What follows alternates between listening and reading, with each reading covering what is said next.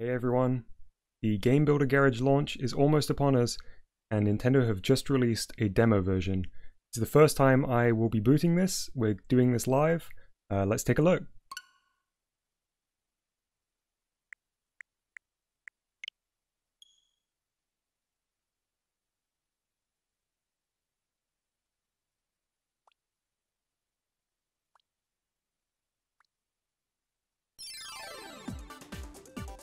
Cute little intro. Okay, so in the demo it looks like we only have the interactive lessons unlocked. Alright. Wow. Moving the little person. Okay. So I can use left stick to move and B to jump. Hmm. Except I can't use B to jump. It looks like you need some help. Don't be shy, I'm here to help. You can call me Bob. Hey Bob. You were in a spot of bother because you couldn't finish the game, right? You couldn't jump by pressing B, so you couldn't reach the apple. There's a reason for that, you know. You see, the thing is, the game is still under construction. Classic, shipping a game before it's finished, huh? With the way it is now, you could spend your whole life trying, trying and you'd never beat it. Ah, oh, please don't get mad. If we do a deep dive into the game, we'll soon get it finished. Behind the curtain, so to speak. Why don't we do that right now? Okay. I'm gonna press the plus button. Wow, we're into the, uh, the game screen. Oh, if that isn't Bob. Good to see you, darling. You alright? Oh, hey, it's Bob. It's Bob. Boing! Welcome inside the game, Dom. Ah, so you wanted to know about our friends here. I'm just, uh, sorry, I was just enjoying how full of life this screen is, especially compared to the Labo um, creation kit stuff.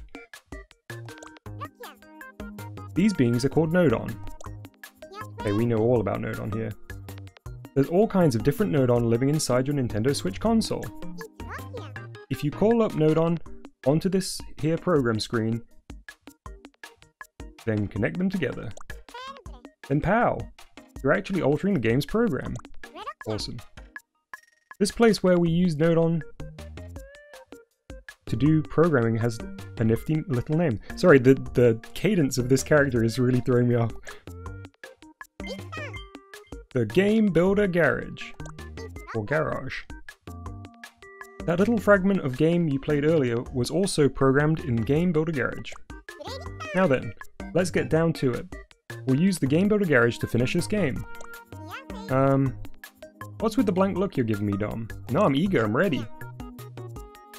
You're going to be using programming to finish this game. It's not as daunting as it might sound. All we need to do is make it so pressing B lets you jump. Okay, we've seen this plenty of times in the trailers. See the output port on this button Nodon? Just connect it to the jump port on this person Nodon. Yo, I'm button Nodon. I know exactly what you're gonna do. You're gonna push the button, like bang, yeah, I got you figured. Hey there, I'm Person Nodon, nice to meet you. You saw the little character on the game screen, right? I'm the one who puts it there and moves it around. Oh, that's interesting, so it's not the person. This Nodon is the one that puts the person there. Alrighty, hold down A and move the pointer with left stick, the way I showed you to make con this connection. Okay? Sent it to jump. And hey presto, we've made it so pressing B makes the character jump. Now we should be able to clear the game. Alright, let's do it, I'm excited. Hey, there we go. Nice. Oh, perfect. First game complete. You did it, great job. You got it. You got to finish building a game with a bit of programming. Well then, why don't we nip back into the program screen? Okay. So, how did you find it? Wasn't it fun learning how to program a game? It was very fun. Actually, I think you might have a real knack for this, Dom. Oh, you're flattering me. How about it? Do you want to program some more games? If you do, then maybe you'd be interested in your new pal Bob's interactive lessons. Oh, I can't wait. Like, just now, you'd go through programming all kinds of games with me as your guide. Like just now. And by the end, you'll have what you need to make your own games all by yourself. So how about it? Do you feel like taking on some thrilling interactive lessons? Why not? Brilliant! In that case, have I got an awesome bunch of games for you? Let's take a look. We'll be making 7 games in these interactive lessons. In the first lesson, we'll make Tag Showdown, which is just a simple game of tag. Next, we'll use some unique features on Nintendo Switch console in On a Roll. That should be the gyroscope features, I think. Lesson 3 is the auto-scrolling shoot 'em up game Alien Blaster.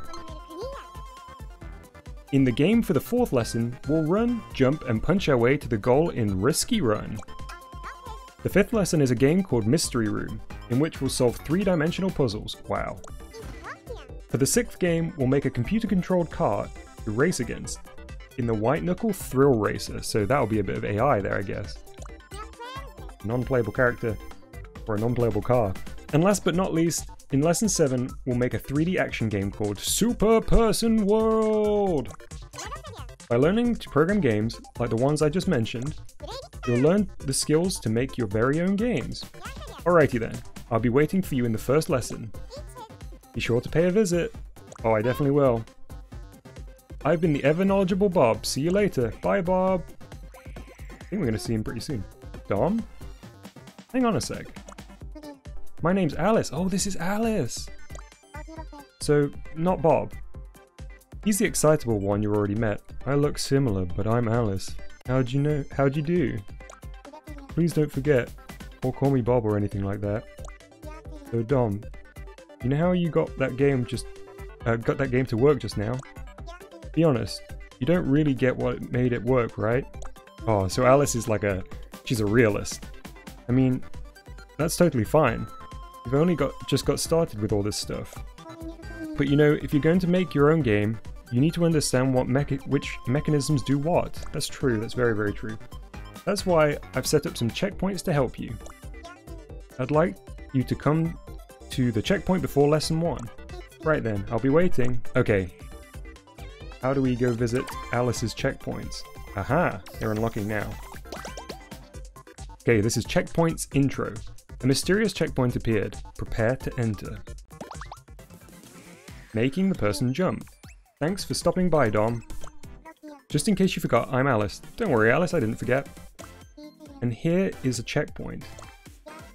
The idea here is to test whether you really know your programming stuff by solving a puzzle. Maybe this is a bit sudden, throwing a puzzle at you and expecting you to solve it, but let's see here. This is Alice's Guide updated.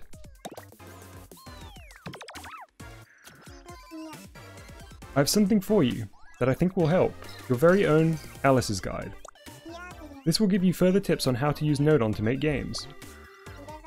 When you select this here, it'll, it'll open up Alice's guide list. Why not use it to learn the basics of Game Builder Garage?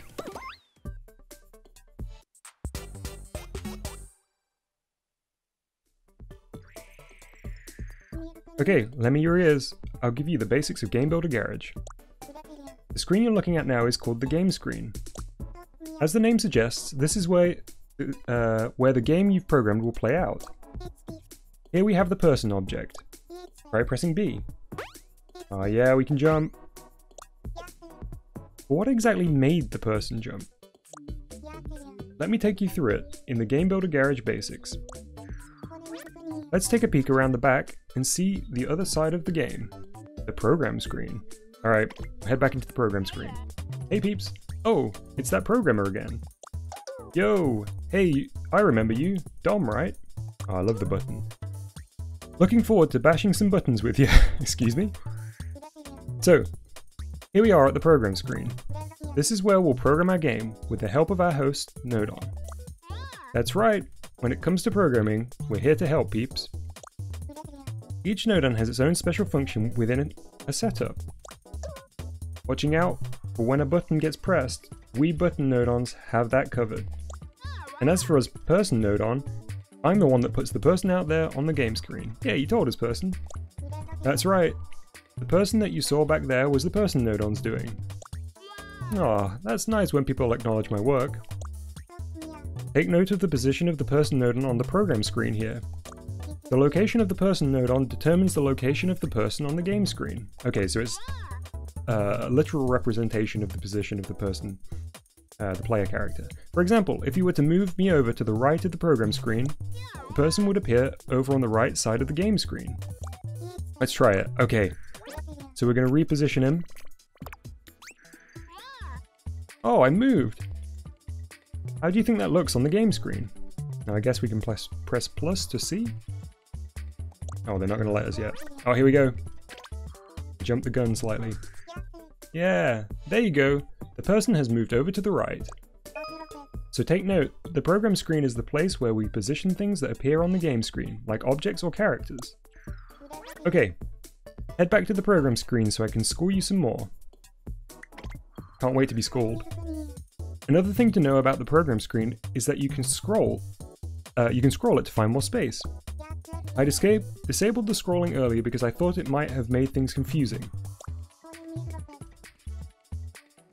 Okay, now that scrolling is enabled, try left stick to put the pointer outside of the screen. Nice, okay. Ooh, that's a lot of screen. There you go. Now you know how to get around the program screen.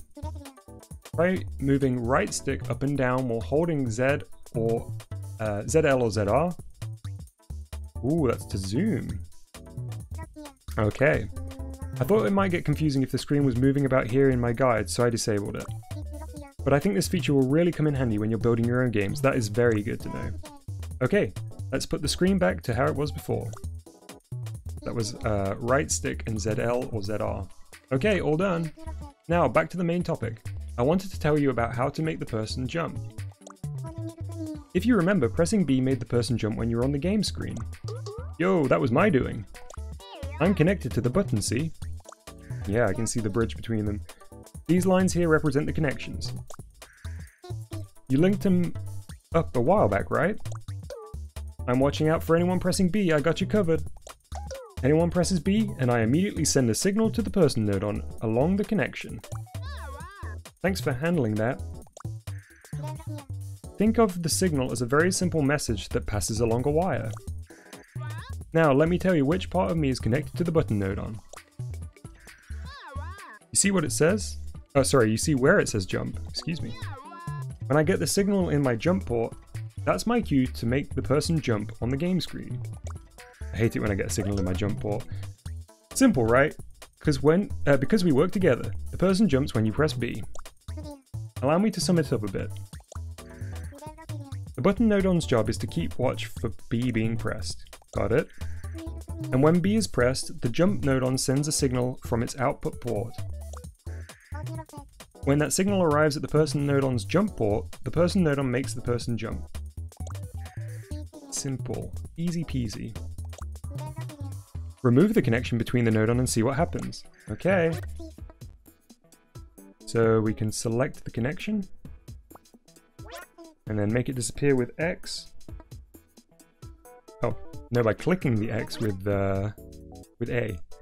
Okay, let's go to the game screen and see what's changed. Oh no, it doesn't work! Nothing, the person didn't jump. With the connection between the node nodon gone, pressing B no longer causes the person to jump.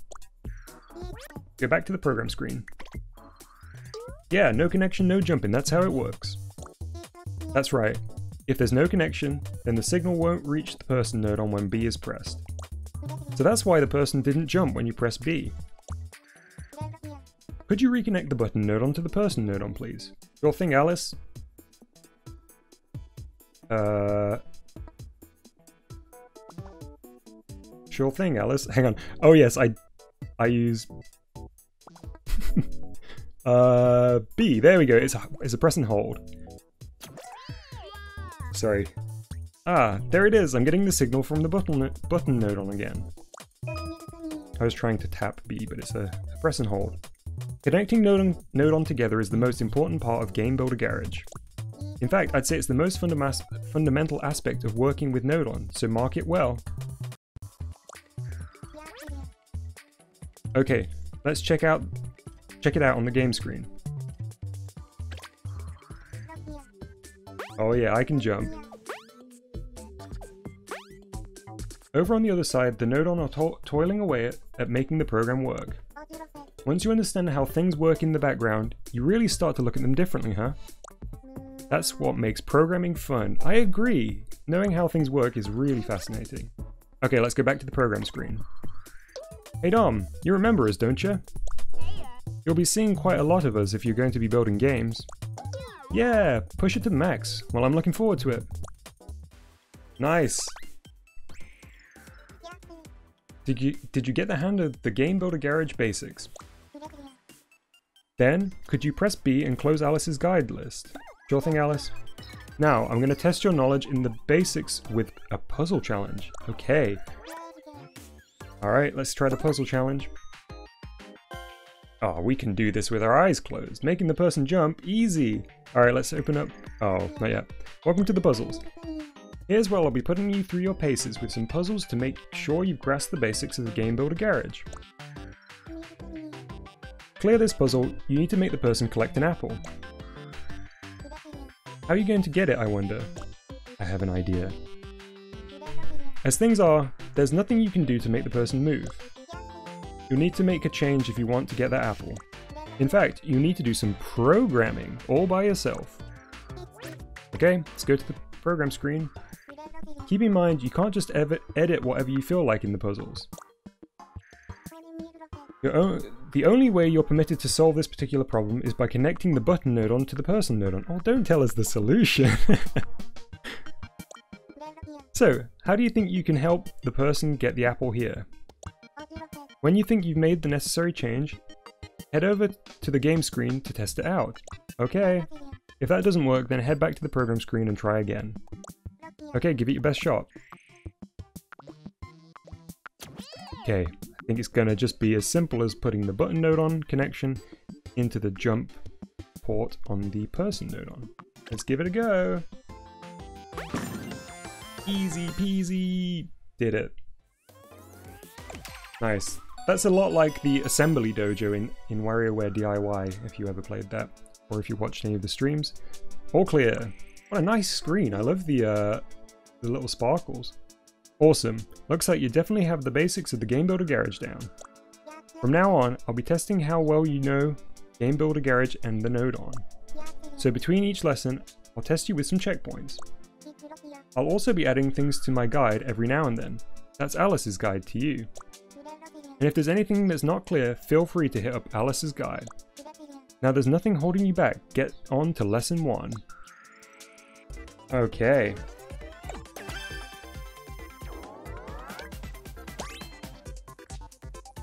Nice. So we finished Programming 101 and the checkpoints intro. Next up is Tag Showdown. But we're going to visit that in part 2. I'll see you there. Bye-bye!